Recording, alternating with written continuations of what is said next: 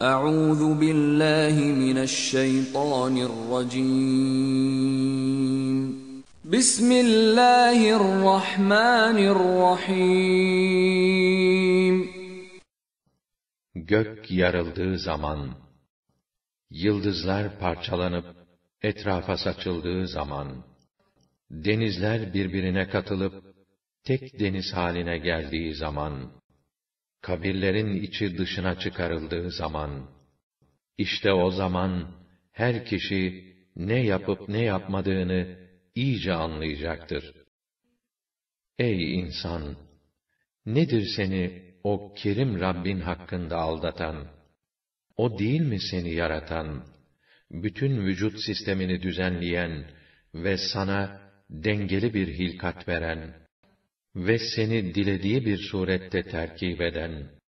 Hayır, yanlış yapıyorsunuz. Siz tutup dini dirilip hesap vermeyi yalan sayıyorsunuz. Halbuki yanınızdan ayrılmayan muhafızlar var. O muhafızlar değerli, şerefli katiplerdir. Yaptığınız her şeyi bilip yazarlar. İyi ve hayırlı insanlar naim cennetinde nimetler içindedirler. Yoldan sapan kâfirlerse ateştedirler. Onlar yalan saydıkları hesap günü oraya girerler. Hem oradan hiç ayrılmazlar. O din gününün, o hesap gününün ne olduğunu sen bilir misin? Evet, bir daha söylüyorum. Din gününün ne olduğunu sen bilir misin?